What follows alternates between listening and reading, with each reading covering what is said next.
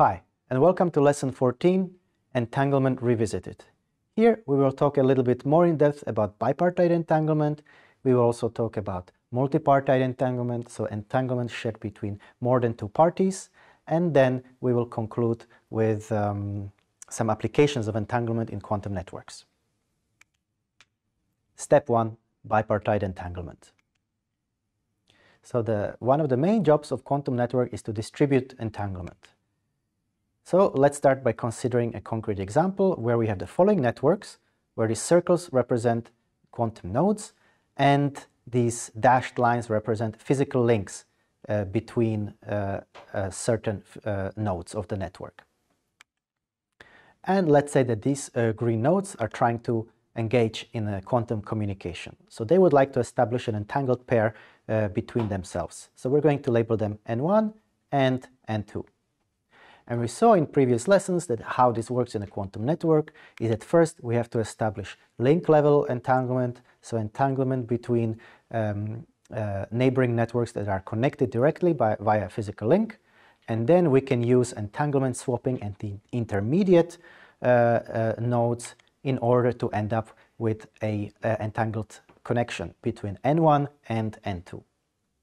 And we also talked about that the network has to consider things like routing and multiplexing in order to be uh, satisfy the need for quantum communication between multiple uh, uh, users of the quantum network. So, but one question which we have not addressed in detail is how do we evaluate the quality of the established uh, entanglement? After all, we saw that the quality directly impacts some of the protocols.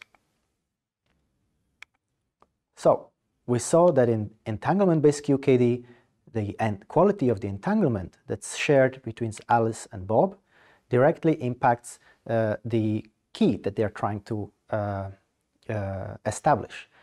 Namely, if the entanglement is not perfect, if they don't share a pure maximally entangled state, then the key that they are going to end up with after at the end of the protocol will also be only partially correlated. More crucially, the uh, uh, quality of the entanglement also uh, tells us something about the security of the entire protocol. If they are not sharing a maximally entangled state, there is some chance that their state, uh, their qubit is correlated with some uh, qubit that Alice has in her possession, which means that clever Alice can find some information about the secret key that Alice and Bob are trying to establish. So in this, uh, in this scenario, we see that better quality of entangled states lead to stronger security uh, during establishing, uh, during the establishment of a secret key. So, what are the different methods of uh, evaluating the quality of the distributed entanglement when we talk about bipartite entanglement? We saw that fidelity is one function that we can use to talk about the quality of a, a, a state uh, at, at, the output, either of a quantum communication task or a quantum computation task. Here we have some reference state, which is a pure state that describes our ideal uh, state that we are aiming to get. That's our desired state. But due to noise, uh, usually what we have is, is some mixed state.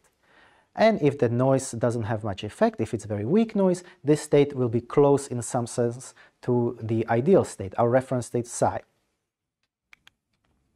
And we can evaluate how close we are using the fidelity, which I remind you is uh, computed in the following way. We have the fidelity f between the actual state rho and our ideal state psi, given simply as this inner product.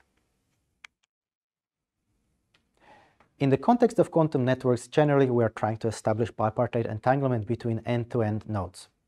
So we are mainly interested in the following expression, and that's the fidelity of the state that uh, uh, and, uh, two nodes are sharing and the ideal state that they wish to share, which is uh, an ent maximally entangled state. In this case, we will uh, consider the phi plus state. And let's compute some examples. So let's say that we have the ideal case meaning there is no noise, there's no eavesdroppers, and the actual state that uh, the two parties are sharing is really the pure state phi plus, here written as a density matrix. Well, we can just simply substitute that into our expression for the fidelity, and we see that what we get is uh, the square of the inner product between phi plus and phi plus, which of course uh, we have seen many times is 1 because the state is normal, normalized. So good, we get fidelity of 1, meaning we have the ideal state. Now, what if we um, end up with an orthogonal state?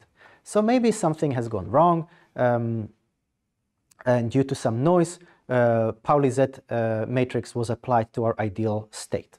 And the two parties end up with the following state. It's still a pure state, but it's not the desired state. In this case, it's phi minus. If we substitute that into our expression for the fidelity, we will see that fidelity drops to zero. And that's because uh, our state that uh, the two parties are sharing is orthogonal with the desired state phi plus. But here's the problem. We care that the two states, that the two parties, Alice and Bob, are entangled. And here, they are clearly entangled. They manage to share entanglement. It's not their desired entanglement, it's not the desired Bell state phi plus, but it's still an entangled state nonetheless. But if we just simply evaluate the fidelity, we get a zero, meaning that uh, our state is no good. And that's not quite what we're looking for. So we see that fidelity in this scenario is not a very good measure. So what can we do? Well, we saw previously in the entanglement-based QKD protocol that we can test quantum correlations by violating the CHSH inequality.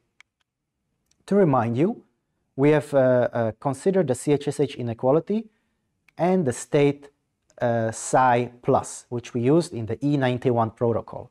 And there Alice measured in two different bases given by these uh, vertical and horizontal lines in the uh, plane of the Bloch sphere. So A1 corresponds to measurement of the Pauli Z observable, A2 corresponds to the measurement of the Pauli X observable. And Bob measures in these rotated bases B1 and B2 given by these following expressions. So B1 is given by Z minus X, whereas B2 is given by Z plus X.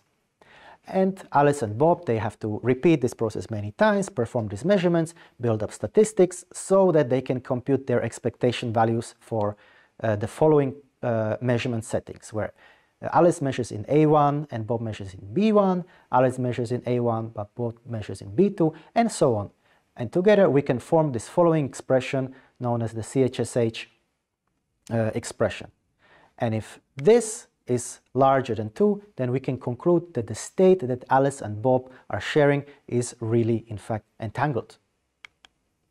So, okay, that seems to work. Let's try and use uh, the CHSH inequality for our state phi plus that we are trying to verify. Well, we can again consider the same measurements and we construct the same CHSH expression. If you go through the calculation for the expectation values, you can quickly find out that the expectation value for A1, B1 uh, for A is equal to A1, B2 and also A2, B2 and it's given by 1 over square root of 2. And the expectation value for A2, B1 is negative 1 over square root of 2.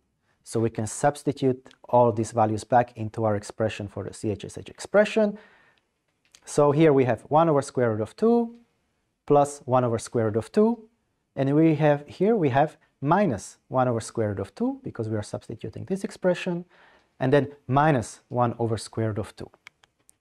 So we get that s is equal to 0. And we said that in order to certify that this, the state is truly entangled, it has to be larger than 2. But phi plus is clearly entangled. So what went wrong? Well, the answer is actually very simple. And it's the fact that this inequality has been constructed specifically for the state psi plus. But now we are trying to use it on the state phi plus. So in order to use CHSH inequality as a test for entanglement, we need to fix our uh, current expression for S. Luckily, in this case, it's very simple. All we have to do is just swap these uh, signs, this negative, si negative sign with a plus sign over here. And with this new expression, we can actually find out that truly s is equal to 2 root 2 which is the maximum violation of CHSH inequality, which always has to be true if they are sharing maximally entangled state. So we saw here that CHSH inequality can detect bipartite entanglement. And to remind you, if we go through the CHSH test and we obtain the value s larger than 2, then we have an entangled state rho. If s is equal to 2 root 2, then we can say that the state that the Alice and Bob are sharing is maximally entangled. And if the value of s is less or equal to 2, then the test is inconclusive. Now notice that I have not said that the test does means that the state is separable. And that's because there are some entangled states which do not violate this inequality.